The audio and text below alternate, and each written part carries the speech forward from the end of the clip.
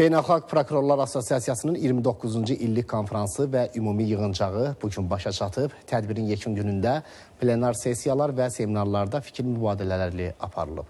Baş prokuror Kamran Əliyev tədbirin cinayətkarlığın bütün növlərinə qarşı birgə mübarizədə iştirakçı dövlətlərin həmfikir olduğunu, bunun üzv ölkələrin prokurorluq və ədliyyə qurumları arasında münasibətlərin inkişafına öz müsbət təsirini göstərəcəyini qeyd edib.